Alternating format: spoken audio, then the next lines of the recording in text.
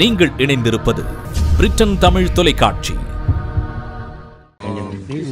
எல்லாருக்கும் தெரிஞ்ச விஷயம் இப்போ நேற்று ஒரு சம்பவம் நடந்தது. கேரளாவில் பாவனா என்ற நடிகை வந்து ஒரு சம்பவம் நடந்தது. கொஞ்சம் வேகமா சார். இது இது வந்து உண்மையிலேயே முதல்ல பாவனாவோட தைரியத்தை வந்து நான் பாராட்டுறேன். பாவனா வந்து வெளிப்படையாக இந்த மாதிரி ஒரு சம்பவம் நடந்தது. அந்த சம்பவம் வந்து வெளியில் சொல்கிறதுக்கே நிறைய பேர் வந்து கூச்சப்படுற சமயத்தில் பாவனா வந்து வெளியில் வந்து சொன்னதே வந்து மிகப்பெரிய அவங்க தைரியத்துக்கு நான் வணங்குறேன். இது நடந்திருக்க கூடாது. ஒரு நடிகைக்கே இந்த ஒரு ஒரு ஒரு நிலவரம்னா சாதாரண பொதுமக்களுக்கு என்ன ஒரு நடிகை? அதனால்தான் நாங்கள் வந்து டைரெக்டாக கேரளா சீஃப் மினிஸ்டர் அவர்களுக்கு வந்து ஒரு லெட்டர் அனுப்பணும். நேற்றே அனுப்பிட்டோம். திரும்பவும் இன்னைக்கு ஒரு கடிதம் வந்து நாசர் சார் கையெழுத்து போட்டு அவங்களுக்கு அனுப்புகிறோம் அந்த குற்றவாளிகளை கண்டிப்பாக கண்டுபிடிச்சி கண்டுபிடிச்சாங்கன்னா அவங்களுக்கு அந்த தண்டனையை வந்து எவ்வளோ கொடூரமாக இருக்கணுமோ எவ்வளோ அதாவது punishment should be very severe ஏன்னா அப்போ தான் இனிமேல் மறுபடியும் அந்த மாதிரி ஒரு விஷயத்தில் இறங்குறதுக்கு யோசிப்பாங்க பயப்படுவாங்க.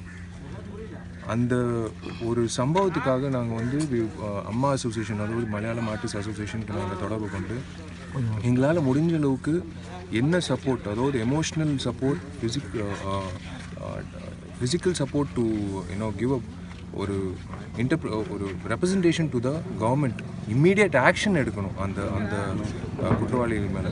அதுதான் நாங்கள் வந்து நேற்றே பேசிட்டோம். இன்றைக்கி மறுபடியும் லெட்டர் அனுப்புகிறோம் இது வந்து கண்டிப்பாக நடந்திருக்கக்கூடாது my heart goes out to Bhavana we will all stand by you definitely justice கிடைக்கும் இந்த ஒரு விஷயத்துக்காக.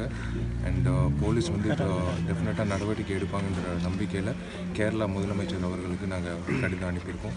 நேற்று மூணு மூணு வயசு குழந்தை எண்ணூரில் வந்து அஞ்சு பேர் சேர்ந்து பலாத்காரம் பண்ணி கொலை பண்ணி குப்பத்தொட்டியில் தூக்கி போட்டாங்க ஒரு ஒரு தகவல் வந்தது.